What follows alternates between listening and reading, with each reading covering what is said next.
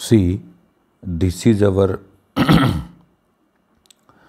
third NCRT reading clip for the chapter 22nd Chemical Control and Coordination. Now, in this clip, we will talk for adrenal gland. So, before we read the thing, I will explain in brief. बघा ही आपली kidney आहे. आणि किडनीवर adrenal gland असते. Adrenal gland दोन पार्टमध्ये divide झालेली आहे. The outer peripheral part is adrenal cortex. And the middle mass is called adrenal medulla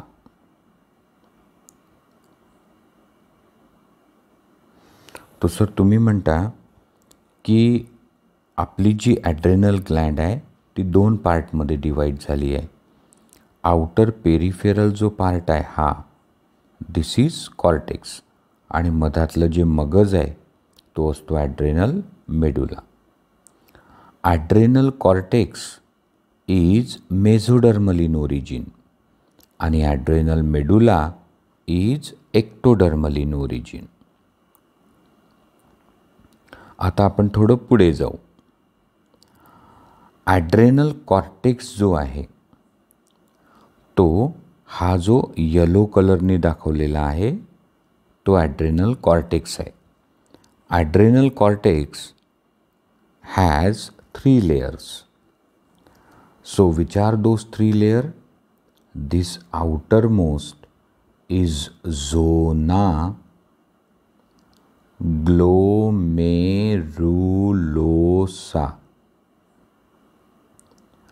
The middle one is zona fasciculata and the inner one zona reticularis.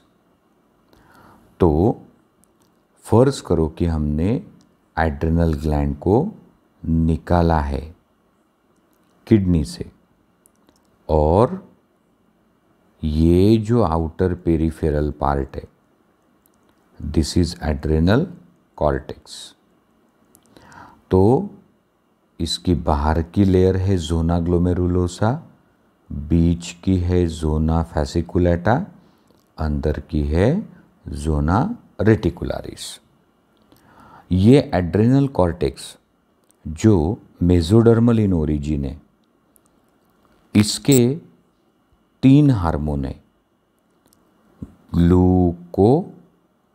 Glucocorticoid corticoid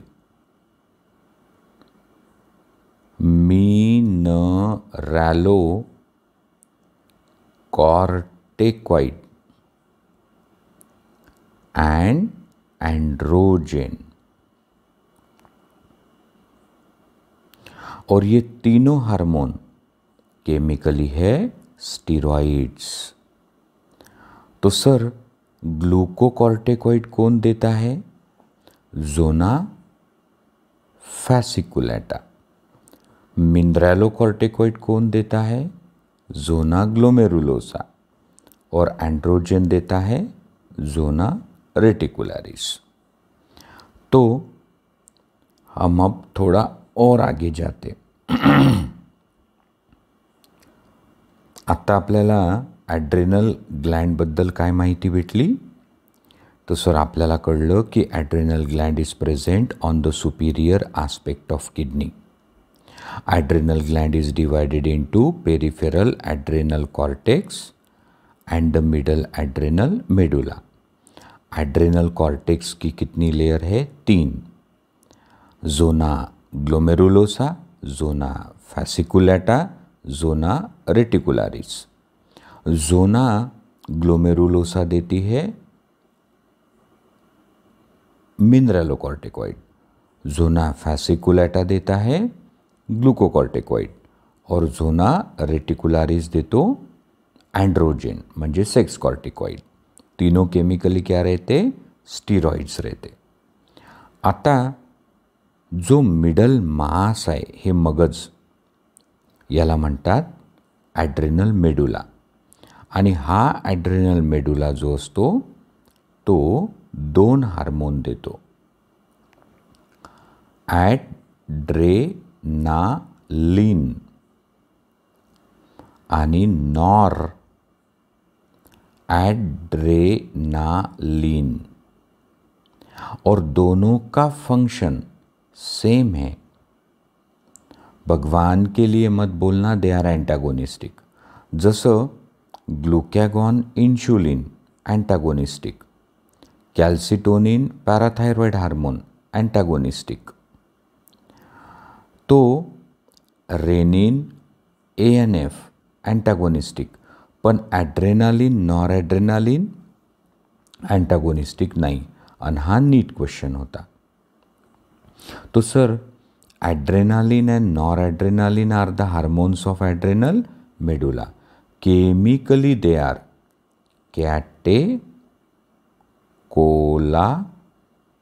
catecholamines म्हणजे amines आहेत.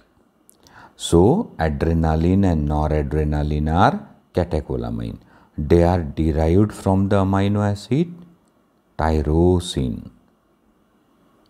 They are derived from tyrosine.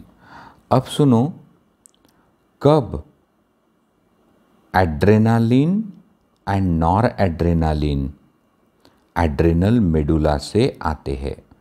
तो adrenal medulla, secrete adrenaline, noradrenaline cup in emergency, stress, fear, anger, excitement. तो जब भी आएगी emergency, किसी प्रकार का स्ट्रेस, या फिर डर, या फिर गुस्सा, या फिर एक्साइटमेंट तो उस वक्त आते हैं एड्रेनालिन एंड नॉर एड्रेनालिन तो आप चाहे तो इसको फाइट और फ़्लाइट हार्मोन्स कह सकते और दो तीन बार नीट क्वेश्चन है इस पे।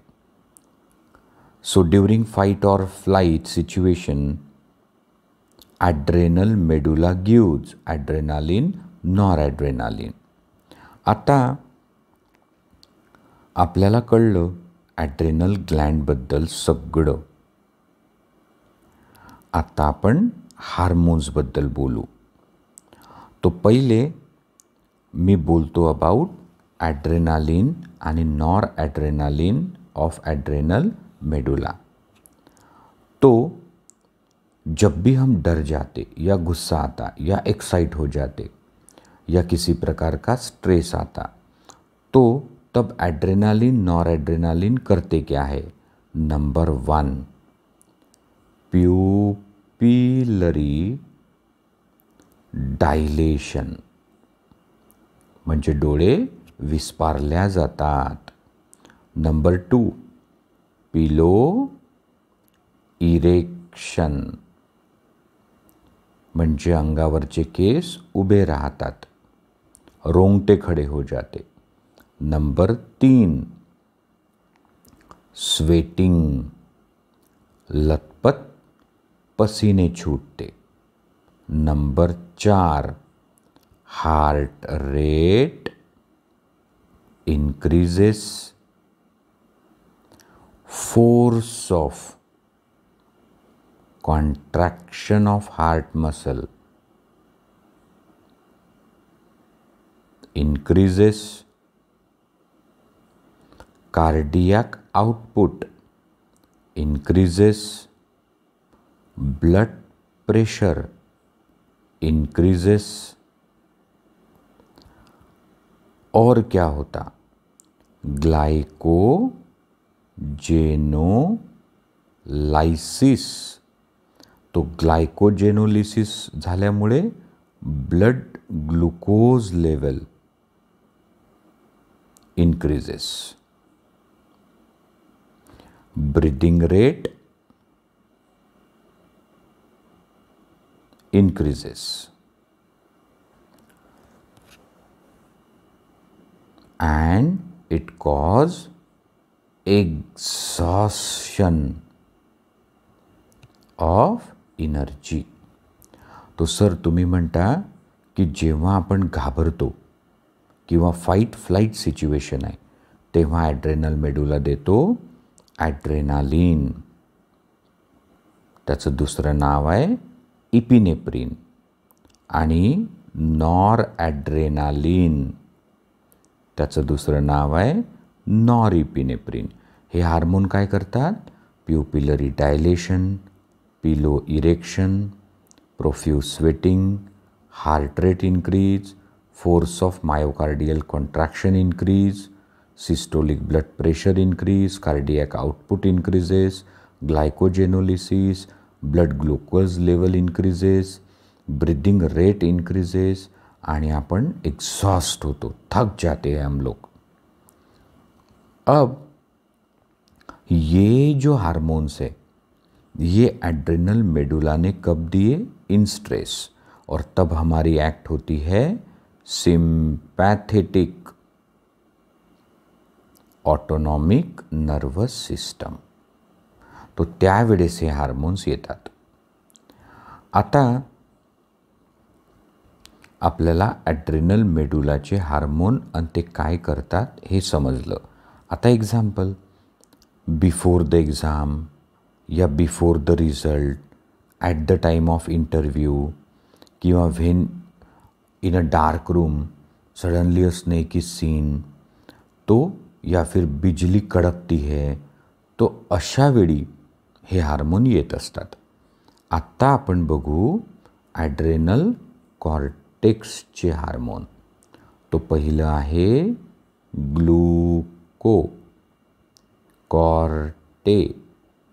glucocorticoid our main glucocorticoid is cort cortisol mug sir glucocorticoid किंवा कॉर्टिसोल हे कधी येत असतं?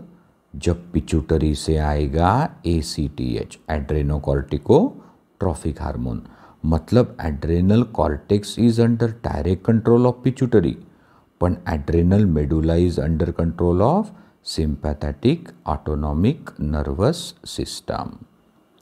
तो कॉर्टेक्स कोणाच्या अंडर येते? पिच्युटरीच्या. पिच्युटरी काय पाठवते? A C T H. तेव्हा भेटते ग्लुको कॉर्टिकॉइड म्हणजे कॉर्टिसॉल. आता हे करतं काय? तो number one carbohydrate metabolism करते. सो कार्बोहायड्रेट मेटाबॉलिझम दुसरं, प्रोटीओलिसिस। लिपोलिसिस। म्हणजे प्रोटीन ब्रेकडाऊन करते, लिपिड ब्रेकडाऊन करते। तिसरं ग्लुको निओजेनेसिस म्हणजे नॉन कार्बोहायड्रेट बिकेम कार्बोहायड्रेट चौथं तो it inhibit inhibit uptake and utilization of amino acids अजुन काय करते? So it regulate kidney and cardiac function और क्या करता? ग्लुकोकॉर्टिकॉइडिया cortisol suppress inflammation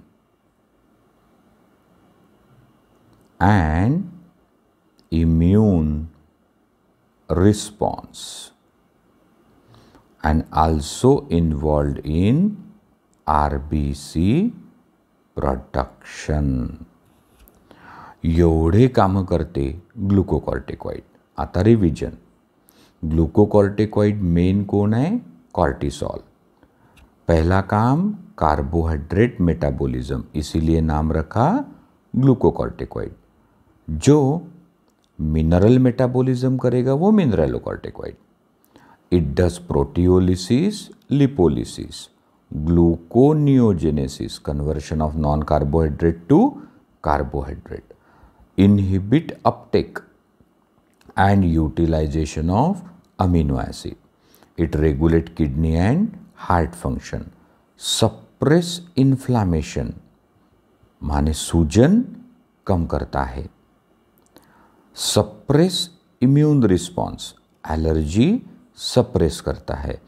इसीलिए तो एक्सीडेंट के बाद सूजन कम करने के लिए या स्किन एलर्जी कम करने के लिए कॉर्टिसॉल्स दिए जाते हैं।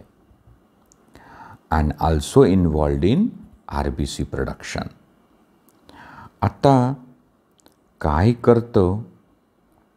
ॲड्रेनल कॉर्टेक्सचं दुसरं hormone is called mineralocorticoid so mineralocorticoid.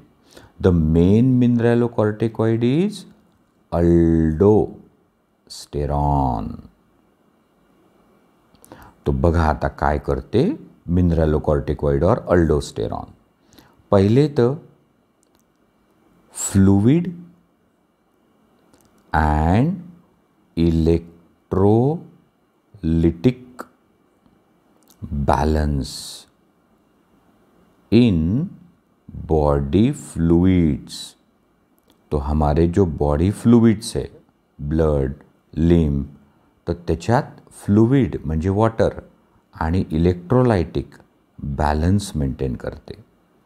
It maintain osmotic pressure blood pressure so osmotic pressure आणि ब्लड प्रेशर मेंटेन करतं. त्याच्यानंतर मिनरॅलोकॉर्टिकॉइडचं टार्गेट कोण असतं? Distal convoluted tubule collecting tubule of nephron it stimulate DCT and CT for absorption of sodium and excretion of potassium and phosphate. तो sir mineralocorticoid और aldosterone is for fluid electrolytic balance in a body fluid it maintain osmotic pressure and blood pressure it stimulate the D C T and C T of nephron for absorption of more and more sodium हा NEET question है. Increase in aldosterone increase in absorption of sodium असा question होता. And removal of potassium and phosphate. आता आपल्याला मिनरॅलोकॉर्टिकॉइडही समजलं. सो ग्लुकोकॉर्टिकॉइड म्हणजे cortisol मिनरॅलोकॉर्टिकॉइड aldosterone आणि आता अँड्रोजेन. सो तिसरं हार्मोन ॲड्रेनल कॉर्टेक्सचं अँड्रोजेन किंवा सेक्स कॉर्टेकॉइड तो in male as well as female it is secreted at puberty म्हणजे सेक्शुअल मॅच्युरिटीला मुलामुलींमध्ये येतं. इट डेव्हलप ॲक्सियल हेअर्स म्हणजे काखेमध्ये केस प्युबिक हेअर्स म्हणजे प्रायव्हेट पार्टवरचे केस. सो आणि बॉडी हेअर्स अंगावरचे केस. याच्यासाठी असतं अँड्रोजेन. मावल्यांमध्ये अँड्रोजेन कमी असतात. म्हणून बॉडीवर हेअर कमी असतात. पुरुषांमध्ये अँड्रोजेन जास्त असतात. म्हणून बॉडी हेअर जास्त असतात. तो ग्लुकोकॉर्टेक्वाईड मिनरॅलोकॉर्टेक्वाईड आणि सेक्स कॉर्टेक्वाइड तीनों को एक साथ कहते स्टीरॉइड्स ये तीनों केमिकली कौन हैं? स्टीरॉइड हार्मोन्स है आता डिसऑर्डर। अगर कॉर्टिकोस्टीरॉइड की कमी होती है, hyposecretion. So hyposecretion of hormones of adrenal cortex will cause Addison's disease मग काय होते ॲडिसन्स डिसीज झाला तर? Carbohydrate fat protein metabolism disturb आणि म्हणून विकनेस अँड फटीग त्याच्यानंतर पी फॉल्स म्हणजे ऑस्मोटिक प्रेशर मेंटेन होत नाही ब्लड प्रेशर मेंटेन होत नाही. वेट लॉस त्याच्यानंतर acidosis accumulation of hydrogen ions होतं. त्याच्यानंतर मसल विकनेस मसल वीक होतात. कॅल्शियमचा लॉस होऊन जाईल.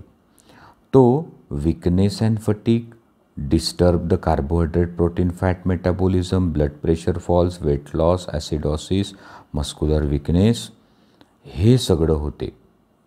आणि सर जर झालं हायपरसिक्रिशन म्हणजे एखाद्या व्यक्तीत जास्त झालं असेल कॉर्टिकोस्टिरॉइड तर मग होते कोशिंग्ज डिसीज आणि कुशिंग डिसीजमध्ये काय होते?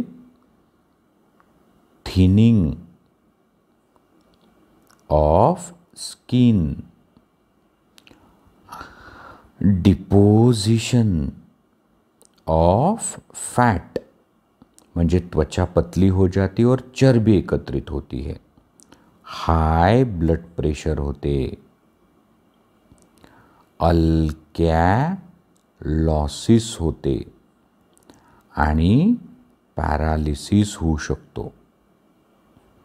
तो hypersecretion leads to Cushing's disease. Hyposecretion leads to Addison's disease. आत्ता आपल्याला ॲड्रेनल ग्लँड पूर्ण समजली. आता आपण ॲड्रेनल ग्लँड वाचू.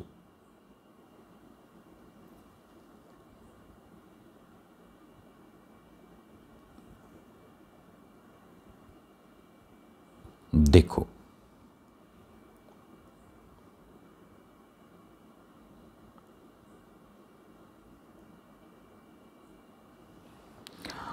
Our body has one pair of adrenal glands one at anterior part of each kidney. The gland is composed of two type of tissue the centrally located tissue is called adrenal medulla, which is ectodermal in origin. Outside this lies adrenal cortex, which is mesodermal in origin. Under production of hormone by adrenal cortex alter carbohydrate metabolism म्हणजे कमी जर झालं adrenal कॉर्टेक्सचे hormone तर काय होते? Disturb होते carbohydrate metabolism causing acute weakness fatigue leading to Addison's disease diagrams तो हमने देख ली है। आता पहा।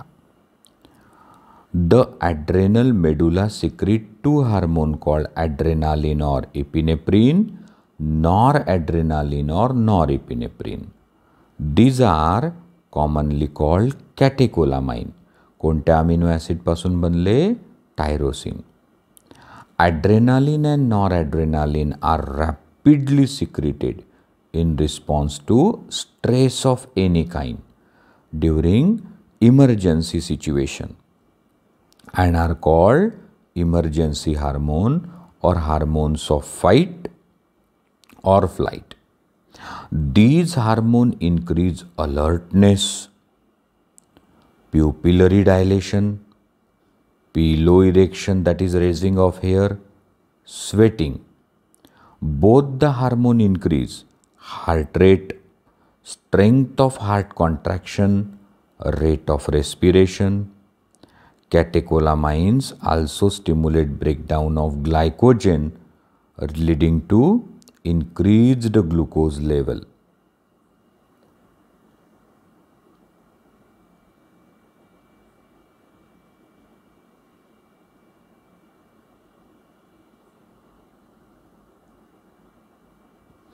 increased concentration of glucose in blood. In addition, they also stimulate breakdown of lipid and protein proteolysis, lipolysis. Adrenal cortex आता पहिले आपण ॲड्रेनल मेडुला घेतला त्याचं ॲड्रेनालिन नॉर ॲड्रेनालिन काय करतं हे आपण बघितलं adrenal cortex can be divided in three layer outer zona I am sorry called zona reticularis inner layer Zona fasciculata middle and outer zona glomerulosa adrenal cortex secrete many hormone commonly called corticoids किंवा corticosteroids. The corticoids which are involved in carbohydrate metabolism are glucocorticoid. In our body, cortisol is main glucocorticoid. Corticoids, which regulate balance of water and electrolyte in our body, are mineralocorticoid. Aldosterone is main mineralocorticoid लक्षात ठेवायचं aldosterone sodium absorption करते किडनीमधून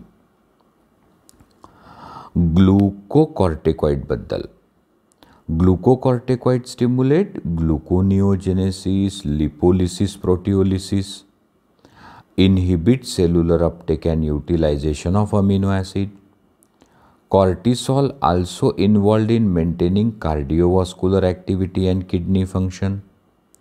Glucocorticoid, particularly cortisol, produce anti-inflammatory reaction, suppress immune response. Cortisol stimulate RBC production.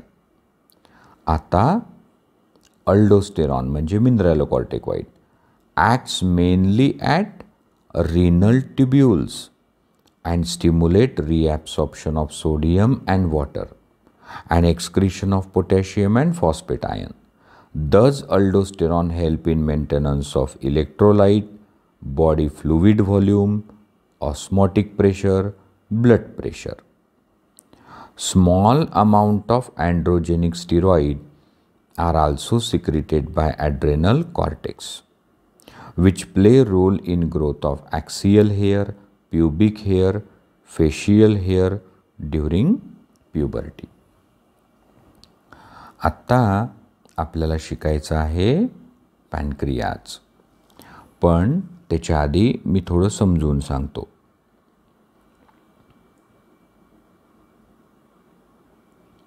सुनो फर्ज करो कि ये oesophagus है और ये स्टमक है।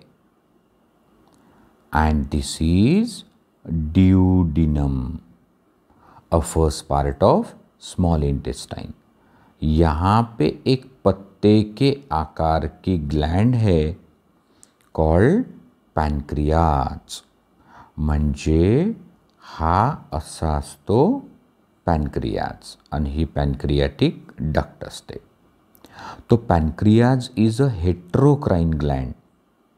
म्हणजे it is exocrine as well as endocrine.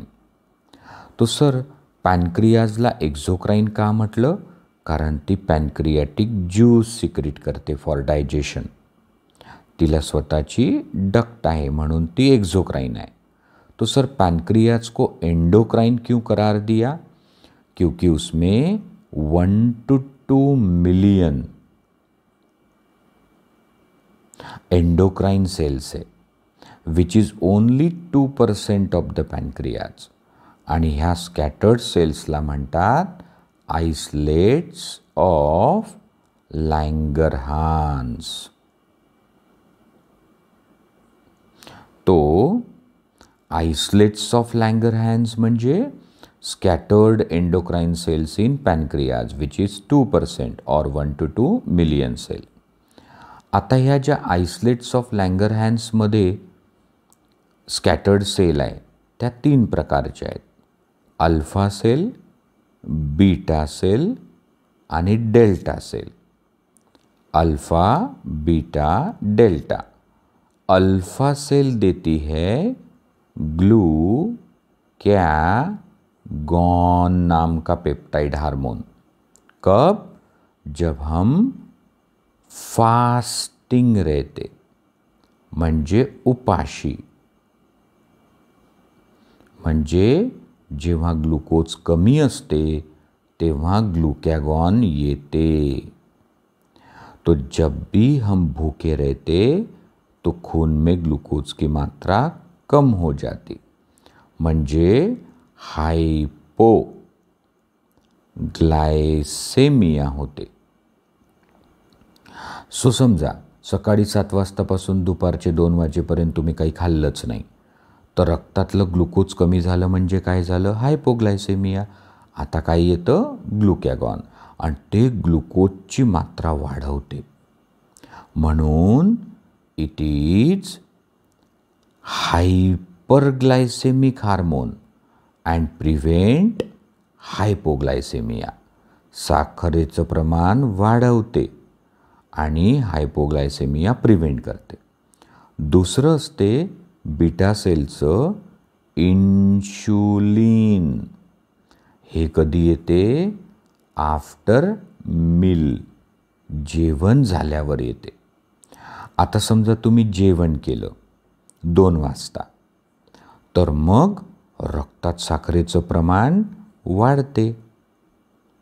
म्हणजे काय होते? हायपर ग्लायसे मिया होते. तो तब आता है इंसुलिन और ग्लूकोज को कम करता है. म्हणजे ग्लुकॅगॉन ग्लुकोज वाढवते इन्शुलिन कमी करते. ग्लुकॅगॉन फास्टिंगला येते इन्शुलिन आफ्टर मील येते. ग्लुकॅगॉन ग्लुकोजची लेवल वाढवणारं आहे म्हणजे हायपरग्लायसेमिक. इन्शुलिन ग्लुकोज कमी करते म्हणजे हायपोग्लायसेमिक. आता delta cell gives somatostatin with suppress glucagon आणि इन्शुलिन आत्ता आपण या हार्मोनचा रोल बघू.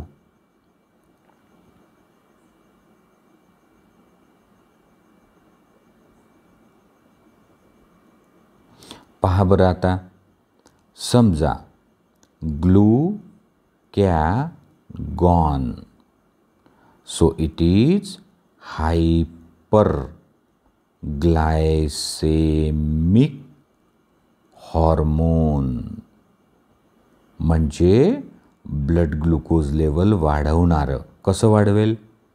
तो इट कॉज ग्लायको जेनो लिसिस इन हिपॅटोसाईट म्हणजे लिव्हर सेल ॲडिपोसाईट ज्याच्यात ॲडिपोज टिश्यूमधल्या सेल्स तो सर मग ग्लायकोजेनोलिसिस म्हणजे ग्लायकोजेन का ब्रेकडाउन होगा तो ब्लड में ग्लूकोज आएगा. कहाँ रहता ग्लाइकोजेन जमा? इन हिपैटोसाइट यानी एडिपोसाइट वहाँ जाकर इसने तोड़ दिया ग्लाइकोजेन को. किसने? ग्लूकैगॉन को. तो फिर थोड़ी सी लेवल ग्लूकोज की बढ़ गई. It inhibit uptake and utilization. It inhibit the uptake and utilization of glucose.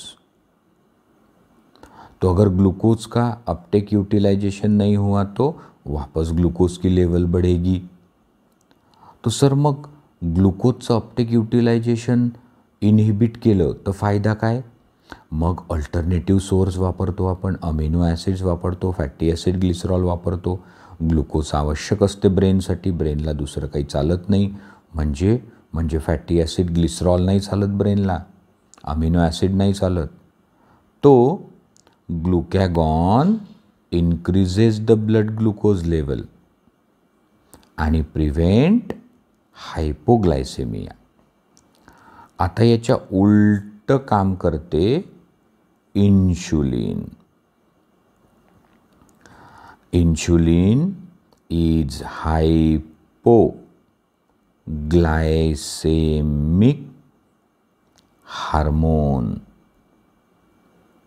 म्हणजे ग्लुकोज कमी करणार आहे. जेवण झाल्यावर ब्लडमध्ये ग्लुकोज वाढल्यावर आता येते इन्शुलिन आणि मग ते काय करते? ग्लायको जेनेसिस करते.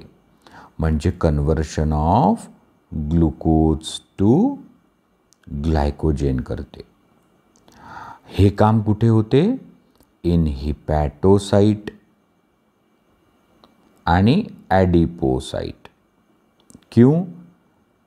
तो जेव्हा आपण जेवण करतो आणि रक्तात साखरेचं प्रमाण वाढते तर तेव्हा शरीराला असं वाटते की कल मिले ना मिले.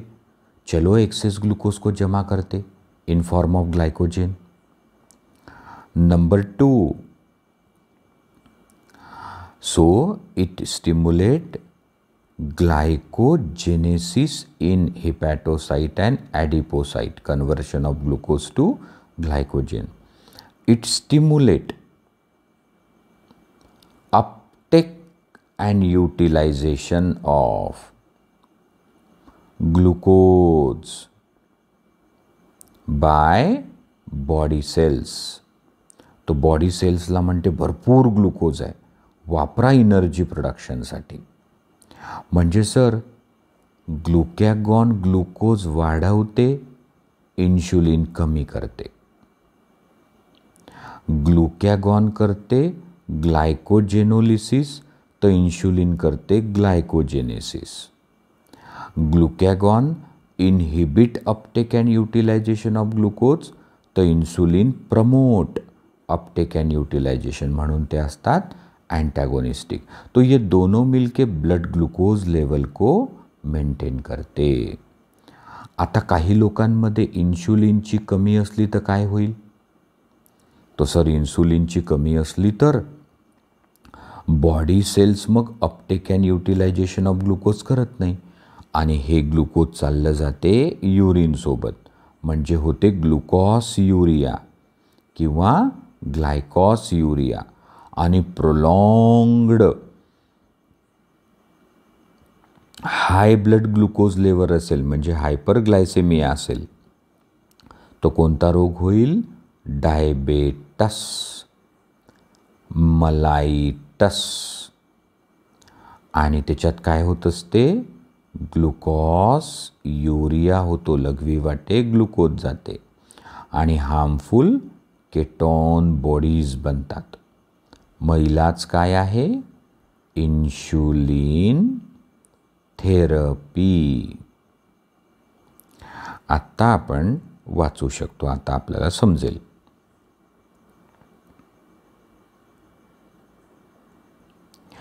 pancreas.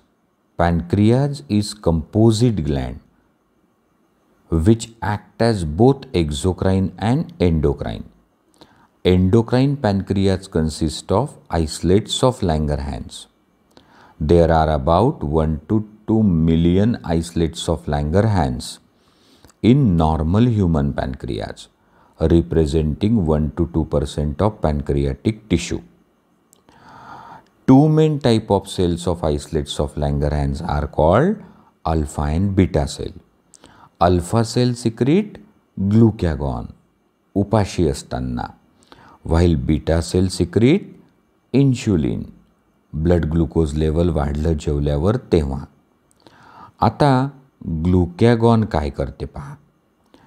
It is a peptide hormone play important role in maintaining normal blood glucose level glucagon acts on liver cell hepatocyte stimulate glycogen glycogenolysis resulting in increased blood glucose level म्हणजे in addition this hormone stimulate process of gluconeogenesis non carbohydrate to carbohydrate which also contributes to hyperglycemia.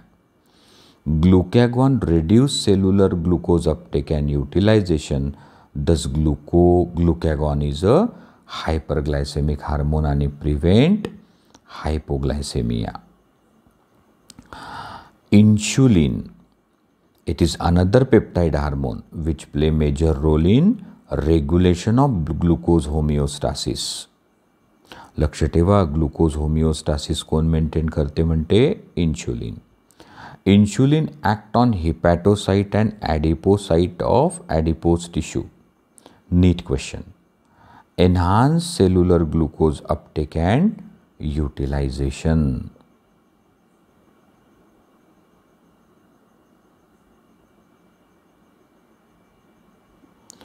Glucose uptake and utilization. As a result, there is a rapid movement of glucose from blood to hepatocyte and adipocyte resulting in decreased blood glucose level म्हणजे hypoglycemia. Insulin also stimulate conversion of glucose to glycogen म्हणजे glycogenesis in the target cell. The glucose homeostasis in blood is maintained jointly by insulin glucagon. इथे म्हटलं होमिओस्टासिससाठी दोन्ही लागतात prolonged hyperglycaemia बहुत दिनों तक अगर ब्लड ग्लूकोज लेवल बढ़ी रही तो a complex disorder called diabetes mellitus occur which is associated with loss of glucose through urine म्हणजे ग्लुकोज युरिया किंवा glycosuria and formation of harmful compound known as ketone bodies diabetic patient are successfully treated with insulin therapy आणि पुढच्या क्लिकमध्ये तुमचा topic complete होईल. Thank you.